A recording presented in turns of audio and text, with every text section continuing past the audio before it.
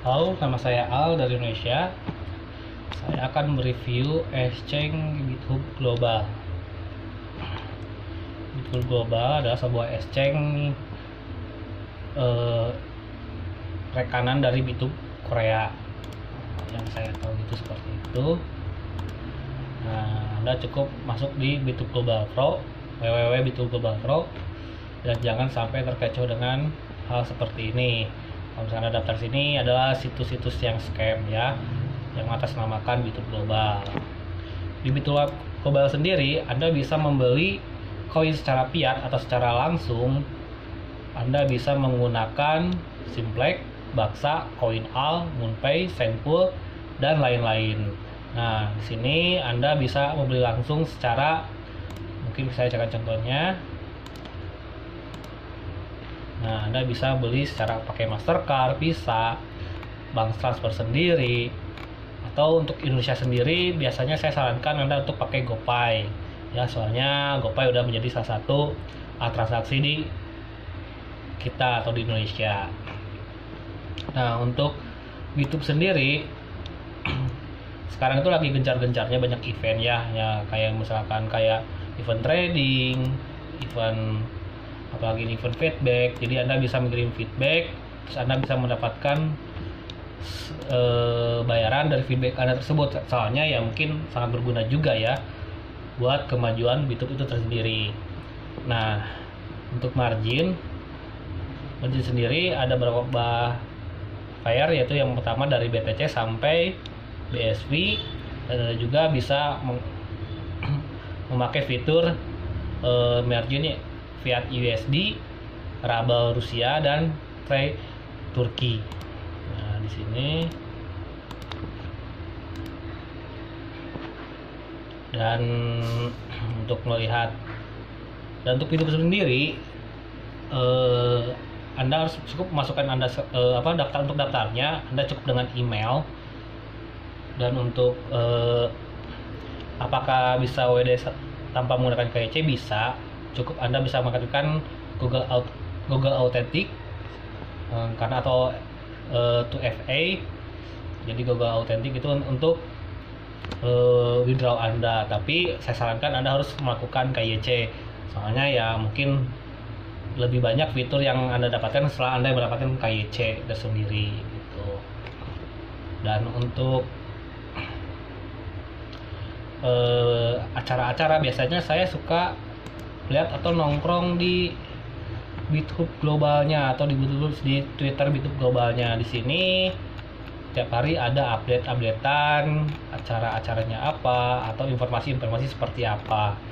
Gitu. Di sini banyak seperti ini. Dan misalkan jika anda apa pengen mengenal lebih jauh ini tersedia beberapa channel lokal yang mungkin Anda bisa yang menurut negara Anda sesuai dengan negara Anda mungkin Anda bisa masuk biar mengetahui lebih lebih lanjut tentang namanya YouTube Global. Nah, kita balik lagi.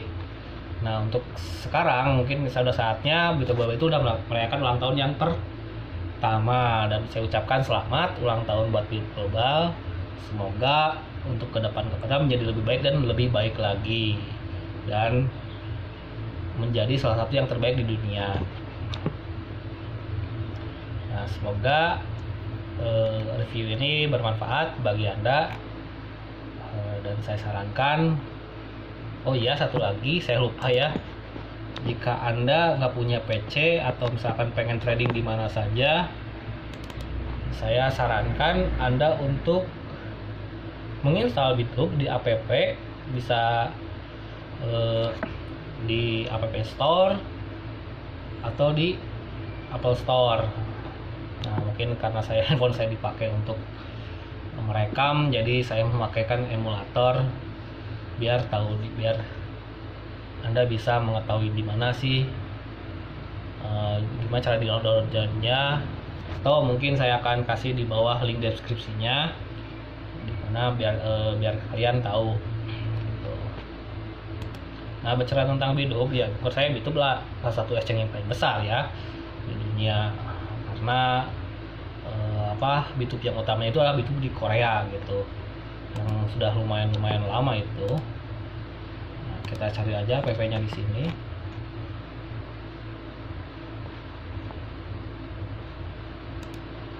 Sebentar ya.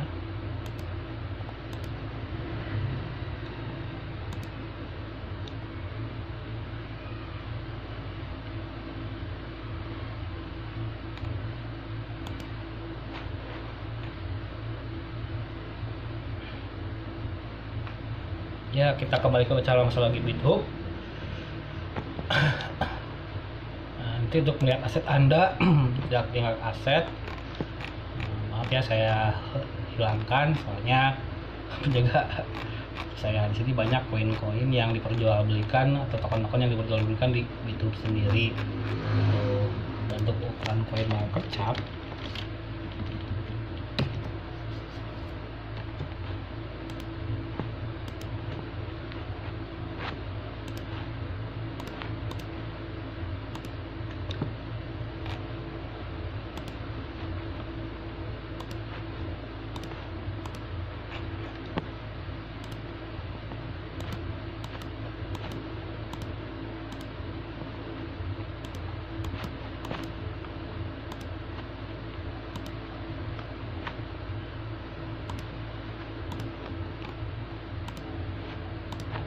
untuk koin market cap sendiri Bithub global itu sekarang dengan total volume sekitar 31 juta US dollar per hari. Dan salah satu termasuk 50 besar dunia. Dan untuk spot paling besar itu ya masih tetap BTC sebagai dominan dan kembali lagi jika anda pengen apa trading di mana saja dan kapan saja anda cukup klik ketik aja Bitcoin global dan install supaya memudahkan anda untuk dalam untuk trading tersendiri. Nah sekian eh, pembahasan saya. Semoga berarti dan semoga bermanfaat. Dan untuk mengetahui hal lebih jauh anda bisa eh, apa bisa membacanya di deskripsi. Saya akan kasih deskripsinya eh, link yang benar di mana dan akun-akun sama dan eh, sosial media apa yang harus biar update gitu. Tentang YouTube tersendiri seperti event-event seperti itu. Oke baiklah terima kasih. Wassalamualaikum warahmatullahi wabarakatuh